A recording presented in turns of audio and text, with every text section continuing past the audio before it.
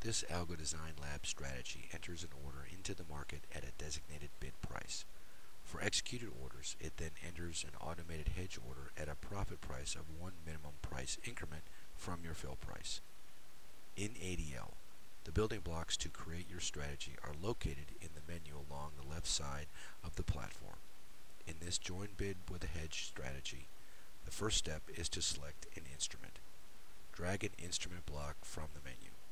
Then select E-mini S&P 500 March 2010 ESH0. Continue building the strategy by selecting an instrument attribute block. From the drop-down menu, select the bid price from available attributes. Now we need a market maker block. So drag and place one in the ADL worksheet. Now create the order quantity. Drag a constant value number block. Double click on this block and name it order quantity. Now right click on this block again and select user defined variable which will populate in the upper right side of the ADL screen. For this example we will use an order quantity of 10. Do the same for the instrument block as well and let's name it market. Creating user-defined variables soft codes them so you will have easy access to change them when you run the strategy from the ADL cockpit. Now connect all these blocks together. First, connect the ESH0 instrument block to the bid price input, as well as to the instrument input on the market maker block. Then connect the bid price output to the price input on the market maker block. Connect the order quantity block to the quantity input on the market maker. Now create the hedge logic for this ADL strategy. Drag a market maker block and double click on it and select Sell. Connect the ESH0 instrument block to the instrument input on the Sell market maker block. Drag a value extractor block and then connect the fills output on the buy market maker block to the input on the value extractor block. Then double click on this block to set the value to be extracted. Select fill price and drag it onto the green canvas and click OK. This block now extracts the fill price information from any fill. Drag a value accumulator block and double click on this to set the variable to be accumulated. Again select fill quantity. Drag that into the green canvas and click OK. Connect the fills output on the buy market maker block to the input on the value accumulator block.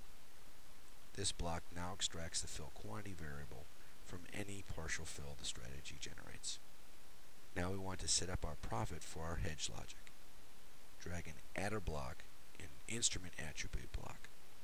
From the instrument attribute block, we want to select the minimum price increment, which will output the minimum price increment for ESH0 to be used in the calculation of the profit for the hedge.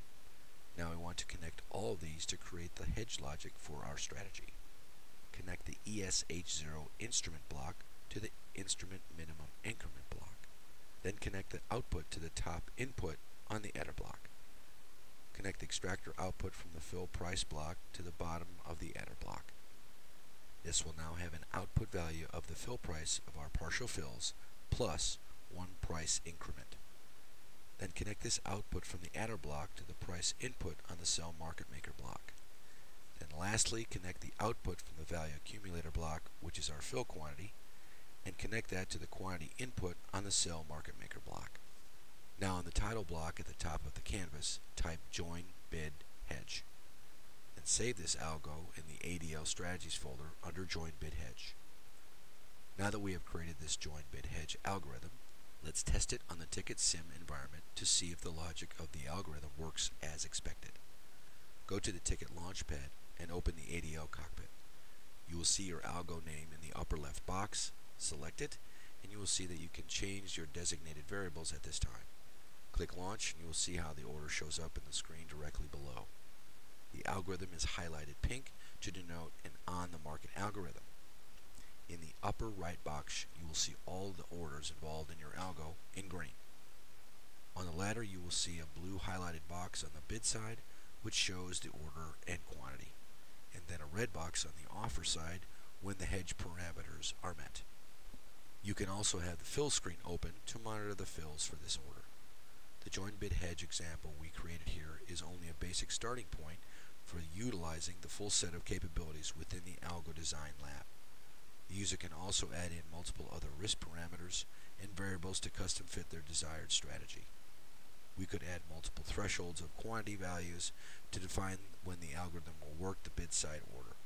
Or we could add in logic to set a clip size to keep the program running after initiating trades are hedged. And the hedge routine can of course be designed to have flexibility beyond working one profitable offset level with routines such as OCOs against other markets, or by including smart stop logic.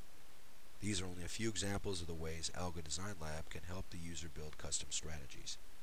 The combination of ADL and the TickIt Sim environment provide the user with the capability to experiment with strategies and test effectiveness.